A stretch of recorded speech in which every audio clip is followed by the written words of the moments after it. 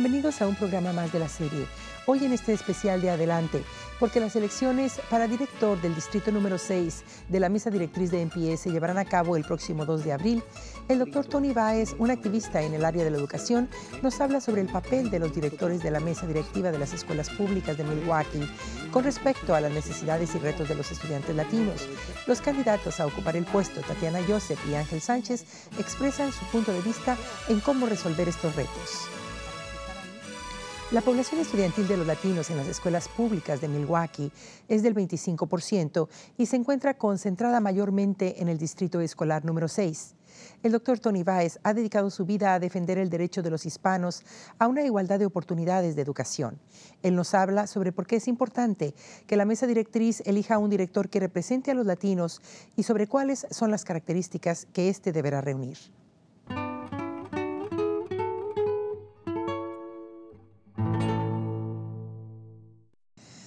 Tony, gracias por estar con nosotros nuevamente en adelante. Gracias a ti, Patricia. Tony, vamos a tener los candidatos esta noche en adelante para el Distrito 6 de las Escuelas Públicas de Milwaukee. Cuéntanos cómo se creó este distrito. Sí, mira, el año antipasado, cuando salió este, el nuevo censo del 2010, los distritos escolares y las, este, unidades este, uh, públicas en general, ¿verdad? Este, tienen que rehacer sus distritos escolares. Y nosotros, un grupito de nosotros fuimos delante de las escuelas públicas y le dijimos, bueno, ya es tiempo de crear un distrito donde haya la posibilidad de elegir un latino. Y eh, francamente hubo un poco de resistencia porque estos señores se creen que los distritos son de ellos, ¿verdad?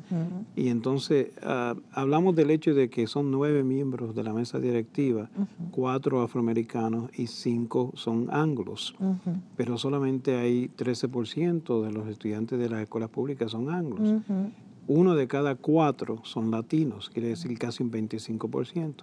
Entonces yo recuerdo que hablé delante de las escuelas públicas y le dije, mire, no voy a, forzar la cosa desde un punto de vista legal, pero este, entre ustedes mismos eh, busquen la forma de crear un distrito donde se pueda elegir un latino.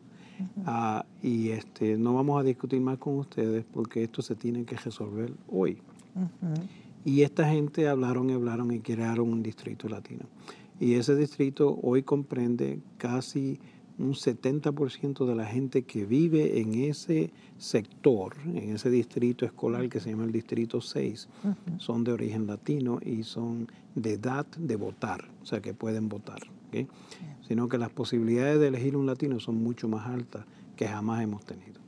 Bien.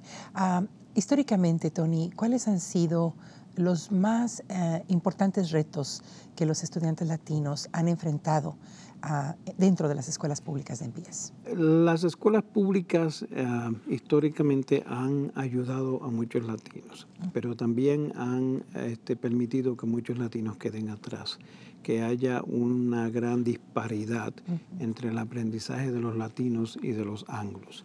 Eso está cambiando en este país, pero no podemos estar este, durmiendo. O sea, nosotros tenemos que insistir que un distrito escolar tiene que mejorar significativamente la condición de los niños latinos en, términos de asistencia, en términos de adquisición del contenido, en términos de exámenes que toman, en términos de graduación. Y este, los distritos escolares eh, hemos encontrado que resisten a veces porque se creen que es problema del grupo que está llegando porque en el caso de nosotros no hablamos mucho inglés. Ah, estamos encontrando que eso no es cierto, que los latinos, hasta los latinos que no saben mucho inglés, este, una vez que adquieren el inglés, comienzan a tener mucho éxito en las escuelas públicas, pero eso es gracias a que por más de 40 años Milwaukee ha tenido un programa bilingüe y ese programa ha ayudado a muchos niños adquirir las destrezas que ellos necesitan para poder salir bien en examinaciones. Y la graduación de los niños latinos está aumentando, ya casi está a 67% aquí en Milwaukee, aunque en algunos otros lugares el, el, porcentaje de deserción escolar es casi 70%. Pero en Milwaukee estamos invirtiendo eso. O sea, algo se ha hecho aquí para que el distrito nos ayude más, pero hay una concentración de latinos bien grande aquí en lo que se llama el Distrito 6. Esa área Nosotros estamos diciendo que el distrito escolar debe hacer algo significativo para impactar a esos muchachitos, para que salgan bien preparados de esas escuelas, que empiecen en Head Start, continúen en las escuelas públicas con programas bilingües duales, desarrollen en esta economía global la idea de que deben de adquirir dos lenguajes, que no es cierto que hablarle solamente en inglés eh, es lo que se debe hacer, eso no es cierto. Al niño se le debe desarrollar su bilingüismo y que cuando terminen en las escuelas públicas salgan bien preparados académicamente para tener éxito en, la universidad y salgan bien preparados en términos de lenguaje, que puedan hablar inglés y un lenguaje más, el lenguaje nativo. Entonces eso es lo que nosotros creemos que eh, históricamente este distrito tiene la obligación que hacer. Y es el momento oportuno para hacerlo. Y nos parece que como tenemos esa concentración aquí en Milwaukee, debemos aprovecharnos y crear un distrito escolar totalmente bilingüe, que debe ser el distrito 6, que sirva como modelo para el resto del estado, que sirva como modelo para las escuelas públicas de Milwaukee y que entonces se pueda regar esto a todo el mundo aquí en Milwaukee. Que Milwaukee se debe de repensar y en lugar de ser un, lugar de monoglotas, debe ser un lugar donde lo bilingüe prevalece. Bien, Tony. Sabemos que tú has estado ah, convocando reuniones, sabemos que eh, existe un grupo de personas que te apoya. Ah, ¿Qué esperas tú que ah, sea la respuesta del candidato que sea elegido para director de este distrito número 6. Ah, ¿Qué crees que sea la respuesta de él y cuáles crees que deban de ser las características de este candidato? Muy bien, a mí me parece que las características, vamos a eso. Una persona que va a ocupar ese puesto de nueve personas en las escuelas públicas debe de ser una persona totalmente bilingüe porque se tiene que conectar con la comunidad. La gran mayoría de nuestra gente en el distrito escolar son gente con necesidades bilingües nuestra gente tiene que saber lo que está pasando y un director de escuelas públicas tiene mucho poder porque en ese distrito se difiere a esa persona. O sea, cuando hay momentos presupuestarios, cuando hay momentos de construcción de escuelas, cuando hay asuntos que tienen que ver con la, orientación que toma un distrito, se pone todo en los hombros de esa persona que representa ese distrito, sino que alguien que nos va a representar a nosotros tiene que tener una conciencia bien clara de que nos está representando a nosotros. Y por lo tanto tiene que ser bilingüe. Y por lo tanto tiene que apoyar lo que eh, estamos viendo como una nueva dirección del elemento latino aquí en Milwaukee, que vamos a tener un plan bilingüe. Se tiene que hacer. Es la oportunidad de poder hacerlo en este momento. Y todo el mundo, las instituciones, las escuelas, la comunidad, los padres, deben de estar involucrados en la creación de un sistema que permite eso desde bien pequeñitos hasta que se gradúan de high school. Y para lograr eso, un candidato de las escuelas públicas puede ser esencial. Esa persona puede empujar para que esto se logre dentro de las escuelas públicas. Y nosotros sabemos contar. Sabemos que tenemos cinco o seis personas de esas nueve personas en las escuelas públicas que están de acuerdo con esa idea, que creen que sería bueno que Milwaukee tenga un distrito escolar donde se experimenta en esa forma con el bilingüismo. Pues vamos a hacerlo. Pero esa persona que sea elegida tiene que estar claro que va a apoyar eso.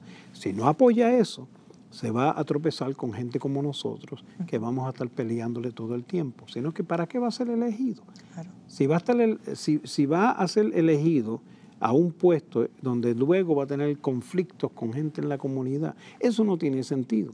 Pero si es elegido con claridad de que va a apoyar este movimiento, entonces estamos aquí para apoyar a ese candidato.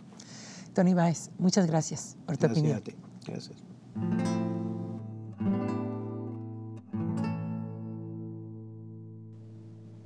Los candidatos contendientes por el puesto de director al distrito número 6 de la Junta Directriz de NPS, la doctora Tatiana Joseph con una maestría en instrucción y currículum y un doctorado en educación urbana de la Universidad de Wisconsin-Milwaukee, y el candidato Ángel Sánchez, quien ocupó el puesto de concejal para la ciudad durante el periodo 2000 a 2004. Ellos nos dan su punto de vista sobre asuntos que afectan a la población estudiantil latina en las escuelas públicas de NPS.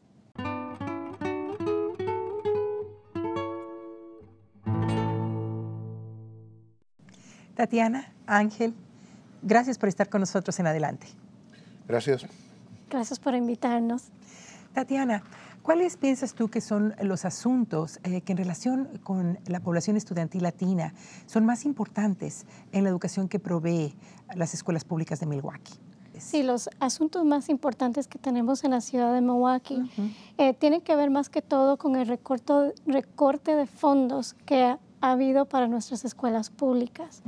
a consecuencias del recorte de fondos, eh, hemos tenido uh, muchas cosas que han pasado en las escuelas que negativamente afectan a nuestros estudiantes. Por ejemplo, el recorte de eh, actividades extracurriculares y también programas académicos durante el día escolar como programas de música, programas de eh, arte, programas de educación física. Entonces, pues mi plan para el distrito es crear un modelo de distrito donde podamos tener actividades extracurriculares que le da la oportunidad a los estudiantes para eh, ver cuáles son sus talentos, explorar sus talentos, sus pasatiempos, pero también que podamos tener la oportunidad de dar programas nuevos a nuestro día escolar, más que todo como la educación bilingüe. Eso es algo muy, muy, muy importante para nuestro distrito. este, darle la oportunidad a los estudiantes para que eh, aprendan el español e inglés. El problema que estamos teniendo ahorita es que el eh, 25% de la población de nuestros estudiantes eh, de MPS son latinos. Muchos de ellos entran a la escuela y hablan solamente español y nunca tienen la oportunidad de aprender bien el español ningún programa para mantenerles el español, entonces ya se olvidan del español.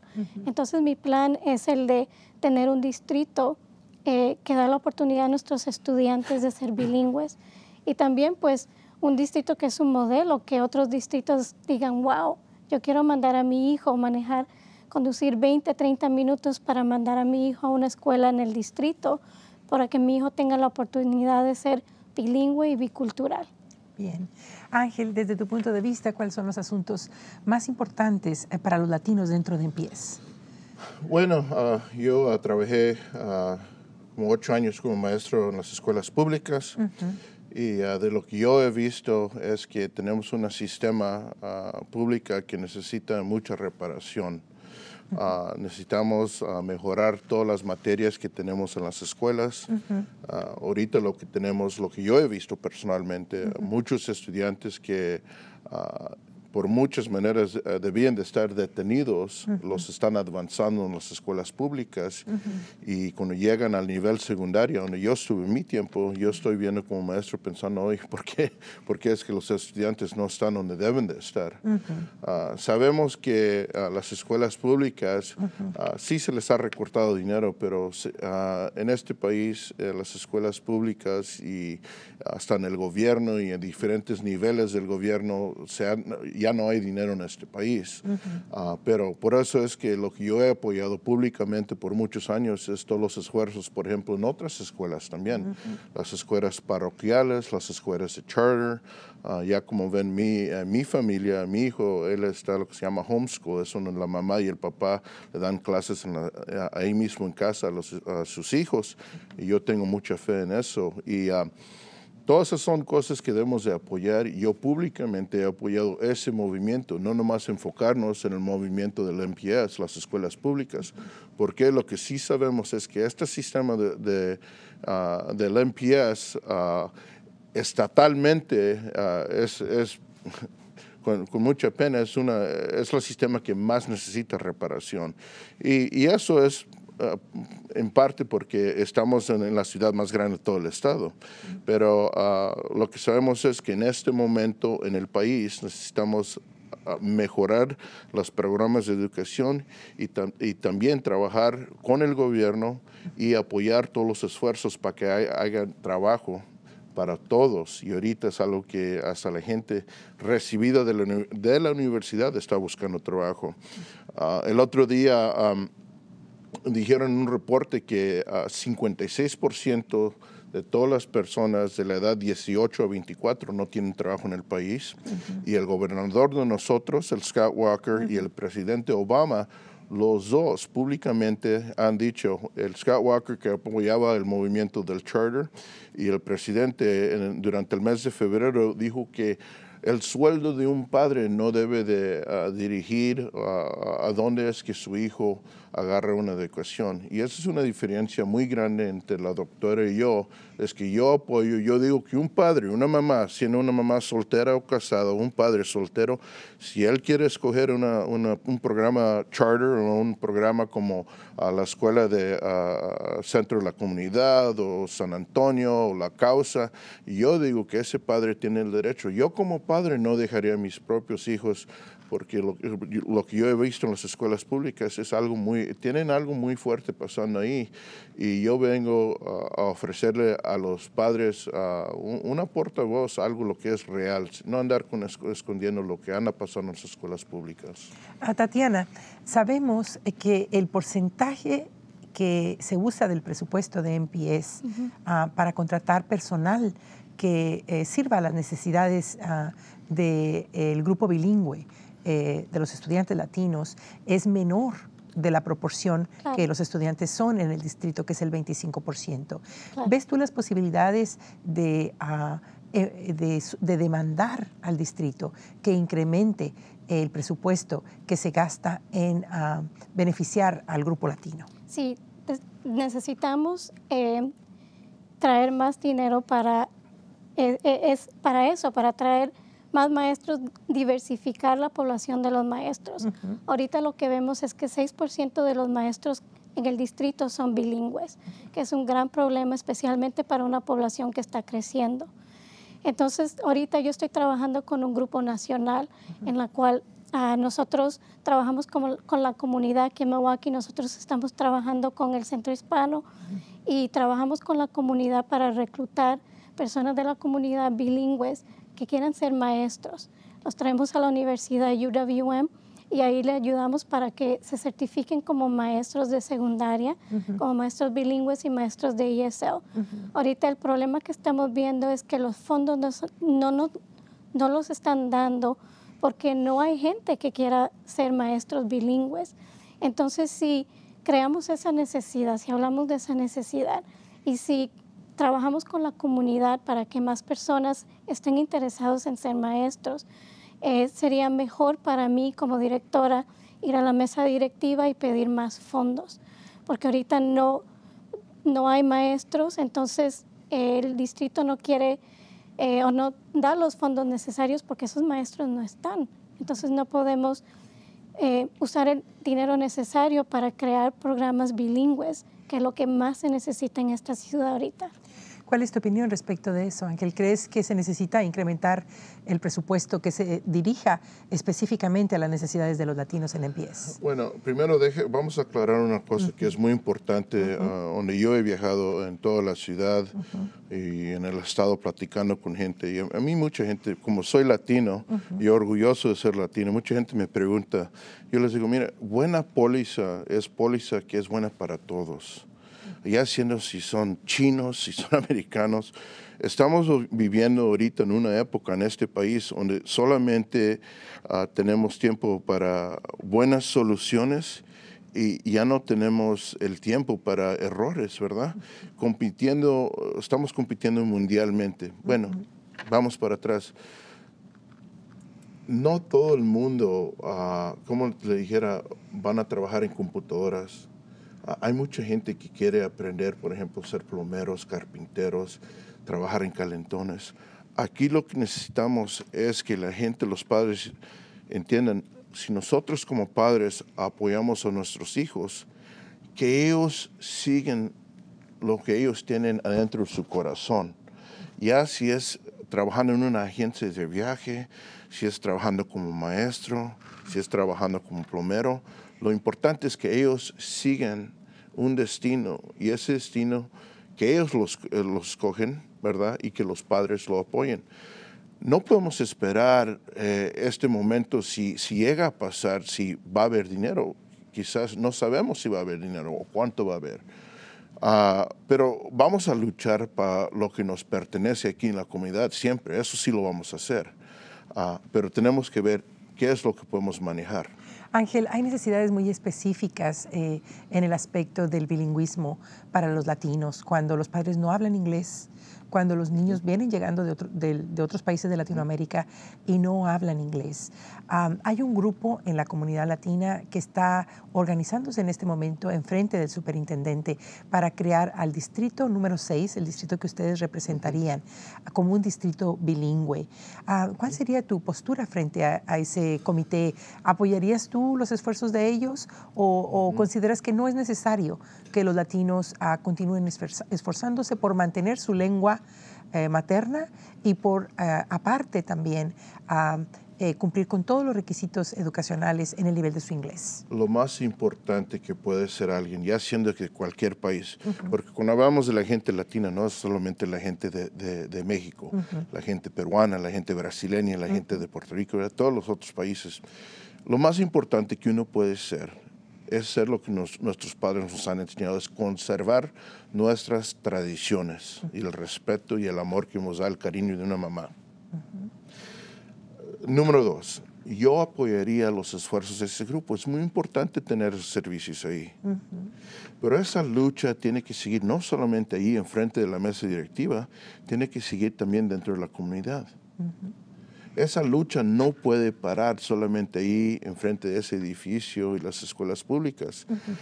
lo que necesitamos es que la gente reconozca que si estamos unidos, no nomás en Milwaukee, pero en este país, los latinos ya somos un mayoreo tan grande, nosotros ya podemos manejar póliza. La gente que nos mira saben que ese momento todavía no está completamente ahí. Por eso es que pasa lo que pasa. Pero ha cambiado tanto en tan poco tiempo que yo sé que en el futuro, yo sé que en el futuro va a cambiar hasta más y hasta más pronto. Yo creo que este año vamos a tener uh, póliza de inmigración y yo creo que ah, vamos a cumplir muchas cosas. No puede uno viajar en este país a ningún lado sin hallar gente que trabaja muy duro para sueldos muy bajos. Yo apoyaría el movimiento para los programas bilingües, pero es algo más grande que eso. Bien, ah, Tatiana, ¿cuál es tu postura frente a este grupo que está organizando que el distrito número 6 que tú representarías en caso de que ganaras se convirtiera en un modelo de bilingüismo eh, a nivel estatal? Sí, yo soy parte de ese grupo.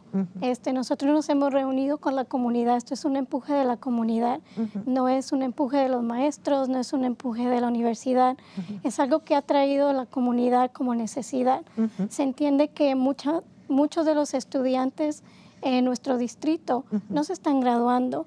Y una de las razones por las que no se están graduando es que nunca han tenido la oportunidad de desarrollar su lengua materna o su segunda lengua, que es el inglés.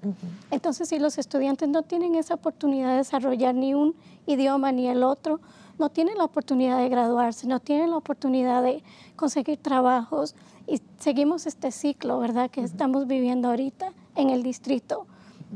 Entonces yo soy parte de ese grupo. El grupo no necesariamente es solo para el bilingüismo aquí en el Distrito 6, sino que es algo que eh, vamos a presentar como estatalmente eh, para toda la ciudad, para todo el estado, para una oportunidad de que todos nuestros estudiantes de cualquier color, de cualquier religión, de cualquier idioma, tengan la oportunidad de aprender dos idiomas, que seamos un distrito, que seamos una ciudad modelo para otras ciudades, como lo está haciendo San Francisco en California ahorita, como lo están haciendo otras ciudades.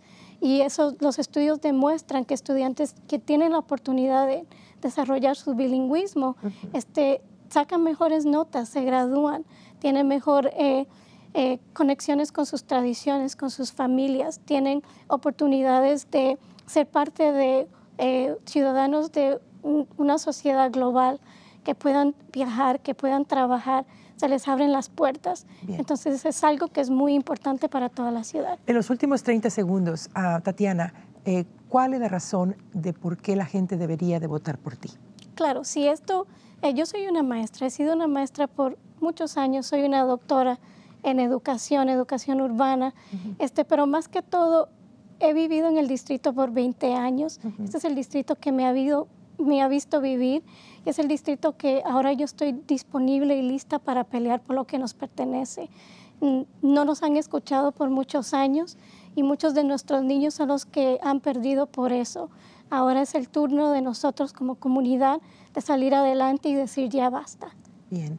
Ángel, ¿por qué razón la gente debería de elegirte a ti como candidato para el distrito número 6 de las escuelas públicas? Ah, mire, yo, me dediqué a trabajar para la comunidad ah, hace mucho tiempo, más de 20 años. Yo ah, hace como 20 años trabajaba con el Departamento de la Policía como voluntario.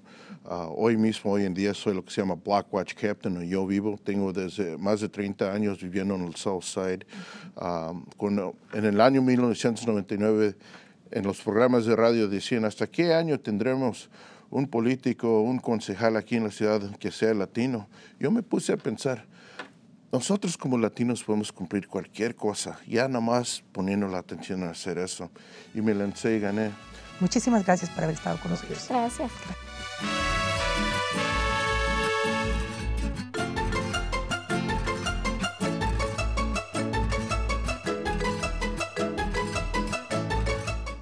Las elecciones generales para el puesto de director del distrito número 6 de la Junta Directriz de MPS se llevarán a cabo el martes 2 de abril. Este es nuestro recordatorio para que usted asista este día y ejerza su derecho a votar. Y al final de un programa más de adelante, por favor déjenos saber sus comentarios en nuestro teléfono 297-7544 o escríbanos a nuestra dirección de correo electrónico en adelante.matc.edu y visítenos en nuestro sitio del internet en mptv.org y en Facebook. Sintonícenos en Milwaukee Public Television, canales 10.1 y 36.2 todos los martes a las 6.30 de la tarde y en canal 36.1 los miércoles a las 12.30 de la medianoche y los domingos a las 5.30 de la tarde. En Wisconsin Public Television WPT 38.2 los martes a las 6 de la tarde y los jueves a la 1 de la mañana y en MPTV VEMI 10.3 los viernes a las 6.30 de la tarde y los domingos a las 8 de la mañana. Soy Patricia Gómez, gracias por acompañarnos.